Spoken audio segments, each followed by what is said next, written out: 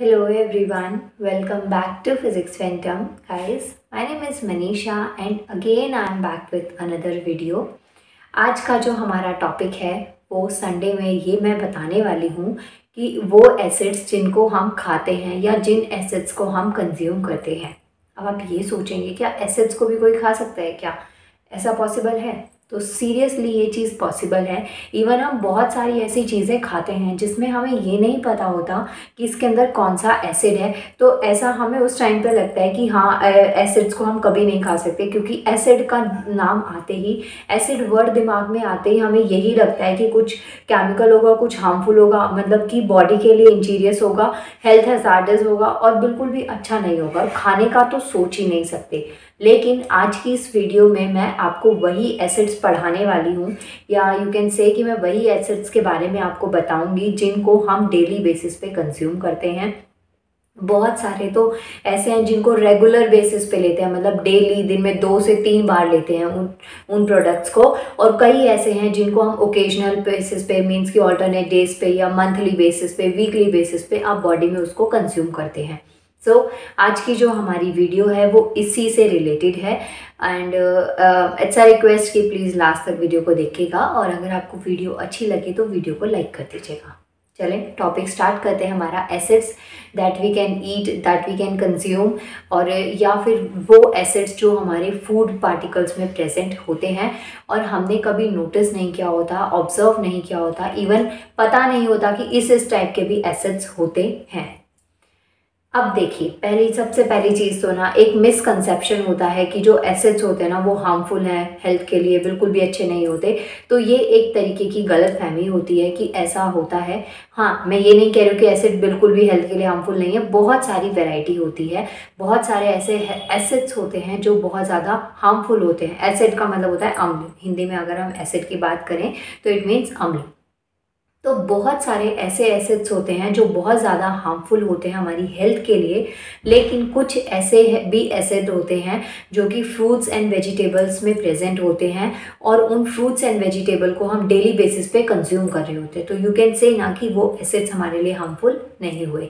आज मैं आपको उन्हीं एसिड्स के बारे में बताऊँगी। सबसे पहली चीज़ जो एसिड हैं मतलब कि जो एसिड होते क्या हैं? एसिड किस चीज़ को आप एसिड बोलेंगे? हिंदी में तो मैंने आपको बता दिया कि ये क्या होते हैं कि जो अम्ल होते हैं। अब अगर आपको थोड़ा बहुत भी पीएच पेपर याद हो तो आप ये आइडिया लगा सकते हैं कि एसिड बेसिकली क्या होते हैं? जो कि वाटर सॉलेबल हो। वाटर सॉलेबल का मतलब हो गया कि पानी में जो घुल जाते हैं, पानी में जो घुलनशील होते हैं, उन्हें हम एसिड कहते हैं। और सिर्फ़ पानी में घुलना या जो वाटर सॉलेबल होते हैं, वो इनफ नहीं होते। इसके अलावा एक और इनकी प्रॉपर्टी होती है कि ये वाटर सॉलेबल होने के साथ साथ टेस्ट में खट्टे होते हैं मतलब सौर होते हैं टेस्ट में तो उसे हम क्या कहते हैं? एसिड कहते हैं। आज वही एसिड्स पढ़ रहे होंगे हम कि जिनको हम खाते हैं, जिनको हम डेली बेसिस पे कंज्यूम करते हैं। तो अब देखिए पहली चीज़ तो आती है कि जो फ़ूड एसिड्स होते हैं, उनको फ़ूड एसिड जो होते हैं ना, वो सिर्फ़ ऐसे एसिड्स होते हैं जिनको हम खा सकते हैं और जो हमारी हेल्थ के लिए हार्मफुल नहीं होते। इवन उनको खाने से हमारी जो हेल्थ है ना, उसमें इम्प्रूवमेंट आपको देखने को मिलेगी। हमारी जो बैलेंस डाइट होती है, जिसमें carbohydrate protein lipid fat oils minerals तो ये सब चीज़ें जो प्रेजेंट होती हैं, उनमें एसिड भी, वो टाइप के एसिड्स भी एक इंपॉर्टेंट रोल प्ले करते हैं, जो हमारी डाइट को, जो हमारी बैलेंस डाइट को कंप्लीट करने में हेल्प करवाते हैं। अब एसिड की बात करें तो ये हमारे जो फ़ूड पार्टिकल्स होते हैं स्पेशली फ्रूट्स एंड वेजिटेबल्स तो उसमें ये कुछ अमाउंट में प्रेजेंट होते हैं। कुछ ज़्यादा किसी चीज़ में, कुछ ज़्यादा क्वांटिटी में, किसी में कुछ कम क्वांटिटी में, लेकिन हाँ ये जो फ़ूड पार्टिकल्स होते हैं, उनके अंदर ये एसिड्स प्रेजेंट होते हैं।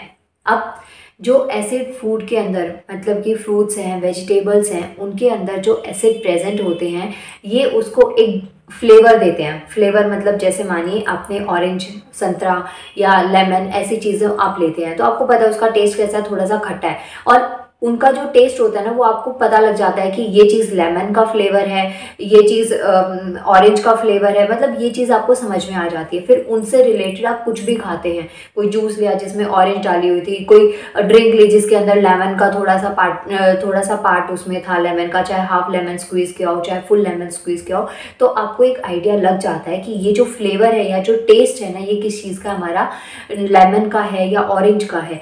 तो जो एसिड्स होते हैं ना, वो इसी काम के लिए यूज़फुल होते हैं कि एक फ्लेवर देते हैं, आपकी टंग पे एक टेस्ट छोड़ जाते हैं, जिससे कि आप उससे रिलेटेड चीज़ को दोबारा कभी खाते हैं तो आपको एक आइडिया लग जाता है कि ये चीज़ हमने ये खाई थी। चलें, आज हम यही पढ़ेंगे।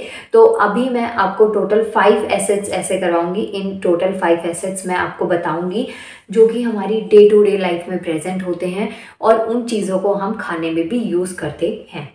सबसे पहला एसिड अगर बात करें तो सबसे पहला और कॉमन एसिड है सिट्रिक एसिड बहुत बहुत कॉमन है। अगर आप एग्ज़ाम की गवर्नमेंट जॉब के एग्ज़ाम की प्रिपरेशन करते हैं तो ये क्वेश्चन इतना कॉमन है, बहुत सारे एग्ज़ाम्स में रेपिटेडली ये चीज़ पूछी जाती है।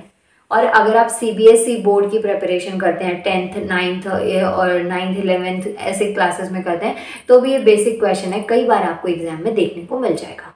पहली चीज़ सिट्रिक एसिड मतलब कि जो सिट्रिक अम्ल होता है, ये किसके अंदर पाया जाता है?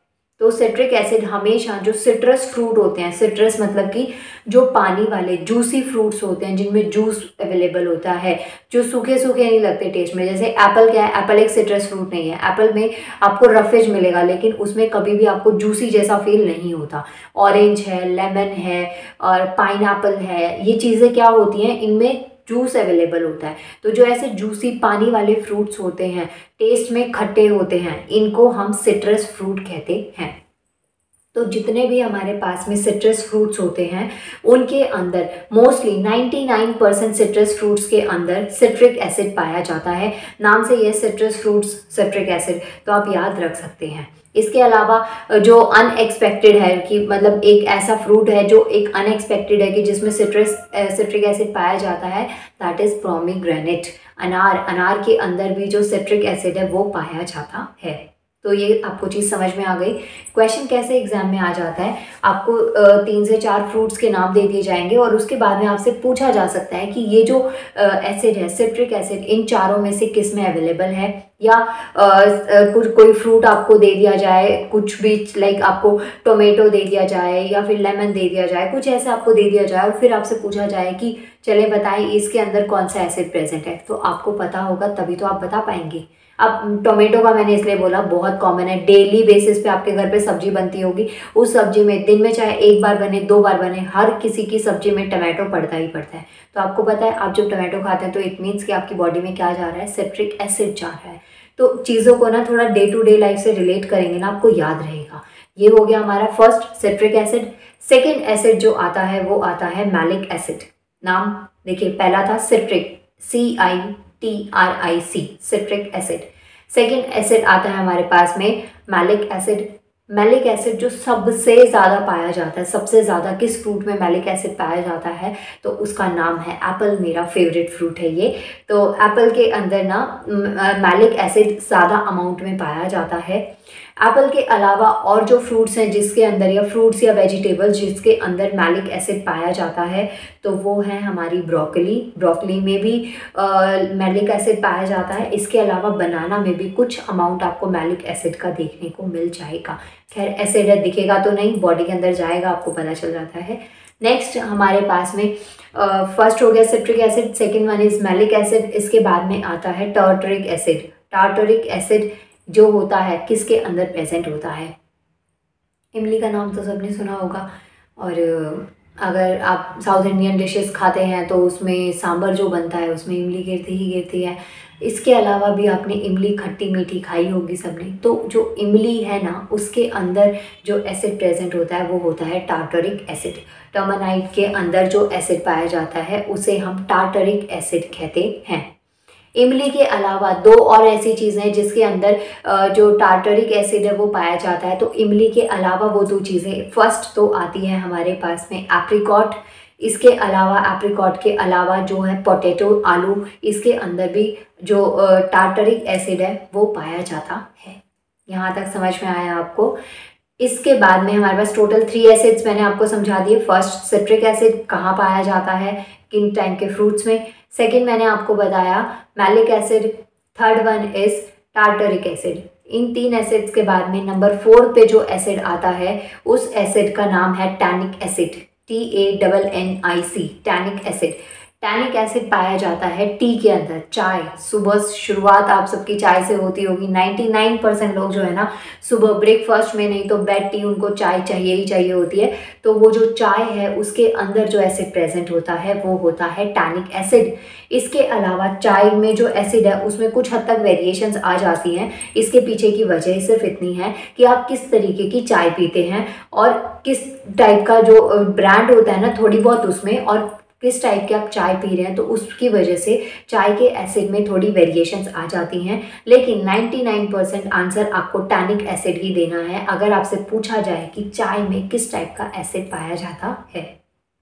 नेक्स्ट अगर आप में से कोई चाय लवर होगा टी लवर जिसको कह सकते हैं, जिसे बहुत पसंद है चाय पीना तो उसके लिए एक गुड न्यूज़ मैं बता देती हूँ कि इससे जो नेक्स्ट वीडियो होगी, उसमें हम चाय का ही कंसेप्ट पढ़ेंगे।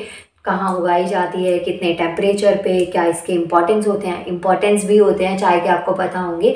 तो इसके बाद में, अब बट इसका मतलब ये नहीं कि सारा दिन चाय चाय पीनी है, हर चीज़ के इंपॉर्टेंस होते हैं बट एक लिमिट में होते हैं। और ये मैं आपको नेक्स्ट वीडियो में बताने वाली हूँ तो नेक्स्ट वीडियो का टॉपिक अभी से माइंड में सेट कर लीजिएगा कि नेक्स्ट वीडियो का टॉपिक होगा हमारा चाय टी जिसको कहते हैं। ओके और ये टॉपिक होगा, ये वीडियो आपको तभी तो मिलेगी ना जब आप चैनल को सब्सक्राइब करेंगे बेल आइकन को प्रेस करेंगे। तो ये इसलिए मैं आपको बोल रही हूँ कि अगर आप चैनल पे नए हैं वीडियो देख रहे हैं तो प्लीज़ वीडियो को लाइक करिएगा चैनल को सब्सक्राइब और बेल आइकन को प्रेस करिएगा, जिससे कि आपको नेक्स्ट जो चाय वाली वीडियो है ना, वो बहुत जल्दी मिल जाए। नेक्स्ट अभी मैंने आपको टैनिक एसिड बता दिया सिट्रिक एसिड हो गया मैलिक एसिड हो गया और टार्टरिक एसिड हो गया। लास्ट एसिड आता है हमारा lactic acid very very very important क्यों? लैक्टिक एसिड जो है ना, वो आता है दूध में मिल्क मिल्क है मिल्क प्रोडक्ट जितने भी होते हैं, उन सब में लैक्टिक एसिड पाया जाता है। अलग अलग फॉर्म्स में प्रेजेंट होता है, जैसे लैक्टोबैसिलस लैक्टोज ऐसे बैक्टीरिया वायरस के नाम होते हैं ना। तो इसी तरीके से अगर एसिड मिल्क प्रोडक्ट से रिलेटेड कभी भी आपसे एसिड पूछा जाए ना तो लैक्टिक एसिड आँख बंद करके टिक करके आ जाना, एकदम ठीक होगा। आँख बंद करके टिक तो नहीं हो सकता। थोड़ा फेंक दिया मैंने, कोई बात नहीं। मतलब मैं बता रही हूँ कि ये काफ़ी इजी है लैक्टिक एसिड आपको याद में रखना है। लैक्टिक एसिड का मतलब होता है कि जो मिल्क के अंदर एसिड पाया जाता है। Okay now my dear viewers आज की वीडियो में सिर्फ़ इतना। टोटल फाइव एसेट्स मैंने आपको बताए हैं। टोटल पाँच एसेट जो आज की इस वीडियो में बताएँ। वैसे तो और भी बहुत सारे एसेट्स हैं। जिसे मैं बता दूँगी अगर आप कहेंगे तो। अदरवाइज़ अभी पाँच जो है ना, ये कॉमन एसेट मैंने आपको बताया है। क्योंकि जिन चीज़ों के नाम लिए वो हमारी लाइफ में डे टू डे लाइफ में हम कभी ना कभी दिन में एक बार तो डेफिनेटली उनको ले ही लेते हैं। फ्रूट्स की अगर बात करें तो वो सीज़न बेसिस पे हो जाता है। अदरवाइज़ चाय मिल्क मिल्क से रिलेटेड जितने भी प्रोडक्ट्स होते हैं टोमेटो हो गया पोटैटो हो गया तो ये तो डेफिनेटली दिन में एक बार दो बार तो आप यूज़ करते ही होंगे। सो so, आपको पता होना चाहिए कि जो चीज़ आप खा रहे हैं उसके अंदर कौन सा एसिड मिनरल विटामिन प्रेजेंट हैं। तो आज की जो हमारी वीडियो थी वो एसिड से रिलेटेड थी इसलिए मैंने आपको एसिड्स के बारे में बता दिया। फाइव एसिड्स पढ़ाए हैं और इन पाँचों की अगर आपने लास्ट तक वीडियो देखी है ना तो इन पाँचों एसिड्स के नाम आपको कमेंट सेक्शन में देने हैं। नाउ मिलते हैं नेक्स्ट वीडियो में। नेक्स्ट वीडियो में मिलने से पहले आपको चैनल को सब्सक्राइब करना पड़ेगा लाइक भी करना पड़ेगा। इट्स अ रिक्वेस्ट रिक्वेस्ट ही कर सकती हूँ मैं। देखिए अगर आप वीडियो देख लेते हैं तो लाइक करने में ज़्यादा देर तो नहीं लगती बट फिर भी पता नहीं क्यों लाइक नहीं करते? करनी चाहिए ना आपको video like so so, video को लाइक करना है चैनल को सब्सक्राइब करना है और इन सब के अलावा आप मुझे इंस्टाग्राम पर भी फॉलो कर सकते हैं जिसका लिंक मैं इस वीडियो के डिस्क्रिप्शन में दे दूँगी और आप मुझसे वहाँ पर भी कनेक्ट हो सकते हैं। नाउ मिलते हैं नेक्स्ट वीडियो में। थैंक यू सो मच मौज लीजिए। सर्दियाँ वैसे भी स्टार्ट हो गई हैं। मौसम चेंज हो गया है। थोड़ा ठंडा मौसम हो गया है। तो इस चीज़ के थोड़ा इन्जॉयमेंट करिए। मौसम के मज़े लीजिए और आप सब अपनी स्टडीज़ पे फोकस करिए। अभी जो टाइम पीरियड चल रहा है, बहुत क्रूशल टाइम है और सच में इतनी वैकेंसीज आ रही हैं कि आप कहीं ना कहीं पक्का सेट हो सकते हैं। अगर आपका गवर्नमेंट जॉब कहीं पर भी जॉब का सपना है तो। ट्राई करते रहिए। कोशिश करिए। हमेशा और कंसिस्टेंट तो ज़रूर रहना किसी भी चीज़ में आप लोग, बाकी सक्सेस तो मिल जाएगी। अगर ये सब चीज़ें आप फॉलो करेंगे और डिसिप्लिन में रहेंगे तो डेफिनेटली नाउ मिलते हैं नेक्स्ट वीडियो में। थैंक यू सो मच इसके अलावा आप मुझे कोई भी जो आपका पर्टिकुलर टॉपिक कंसेप्ट कुछ आपको समझना है, किसी अलग चीज़ के बारे में पूछना है तो आप मुझे कमेंट कर सकते हैं। अगर पॉसिबल हुआ तो उसके ऊपर भी मैं वीडियो रिकॉर्ड कर दूँगी। ना मिलते हैं नेक्स्ट वीडियो में। तब तक। वॉच लीजिए और नेक्स्ट वीडियो का वेट करिए। वैसे तो ऑल्टरनेट डेज़ पे आती है, लेकिन ये वाली वीडियो संडे ही आती है तो नेक्स्ट संडे का वेट करिए। ना ओके बाय ध्यान रखिए आप लोग। Thank you